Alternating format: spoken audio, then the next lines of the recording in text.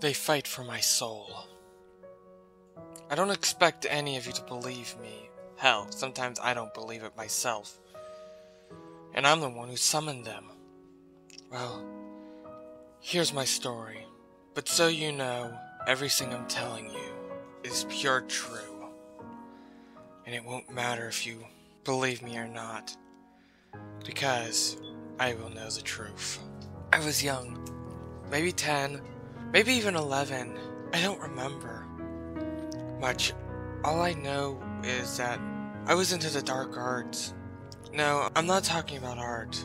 I mean black sorcery. The whole power crazy Harry Potter shit. Well, and I was on the internet. Well, I was on this site that was all about spells and rituals.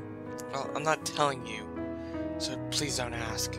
Well, I found this spell that said, summon your demons and your angels from of your soul.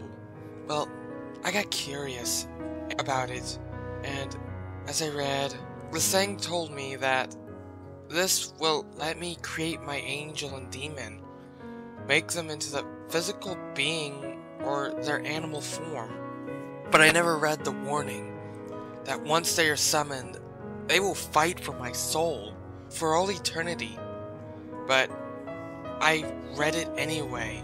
It said, Pizina Noco Elada. I thought it was Latin.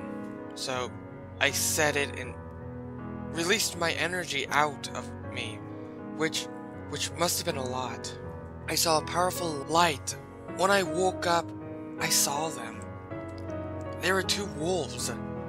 One that was white as snow clear eyes, almost heavenly. But the other, it was pure evil. Its coat was as black as the night. Its eyes, they were they were red. It was as if they were looking to the fires of hell. For a minute, it looked amazing, but then they looked at each other and started to attack. I was glad my parents were asleep at that time. It didn't matter, the wolves were making too much noise, so I looked on the site again as fast as I could and found a way to put them back in which involved a bit of my own blood and another spell, but again, I didn't bother to read its warning. God, I'm the biggest idiot I will ever know. I pricked my fingers with a knife. I had said the spell, I don't remember, but I know this. A flash of light hit me, and they were gone. But I could feel them in me, as if, as I looked more, it said I had to stop them from fighting, or they will do it in me till I was dead, or one of them, and whoever did, I would go to, with them to the afterlife, to either heaven or hell, all because I wanted to do magic. I am now in an eternal battle with the angel and the demons of my very soul, or as I call them, the wolves of heaven and hell. But now I'm 21, the fight's getting stronger. I don't know who's winning, but my anger, my hatred are rising, but so is my good. All I know is the end is near for the battle, so I come to warn you.